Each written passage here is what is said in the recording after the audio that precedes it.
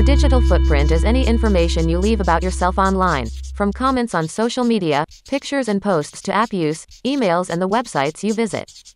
It's important to be aware of the online trail you leave.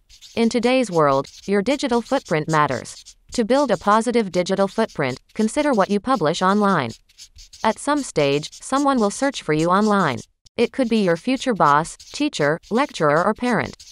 We've listed some tips to help you.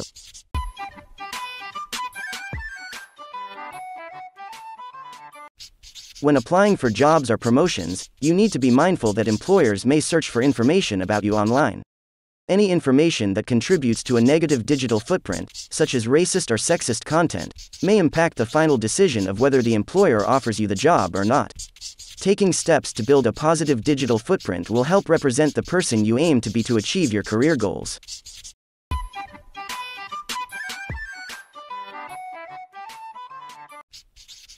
Social media allow you to showcase your creativity.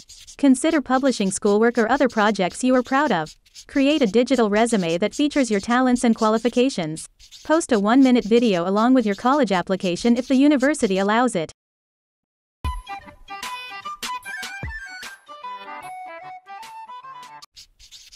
Simply being nice can go a long way toward building a positive digital presence. Compliment your friends on social networks. Write constructive comments on other people's blogs and promote those people's efforts. Seek out groups that share your interests, and just be friendly in general.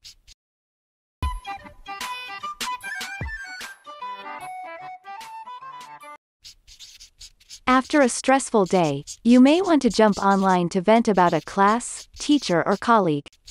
While it may be difficult to overcome this strong internal drive, stopping yourself from acting on this impulse will be helpful in the long run. Self regulation is knowing when something you want to post online is or isn't appropriate. A good rule of thumb is to ask yourself whether you would want your parents or colleagues seeing the content. If people you look up to wouldn't approve, you can consider that an employer or your colleagues may not either. By adopting these four tips, you'll be on the path to building a positive digital footprint that is an asset to your career.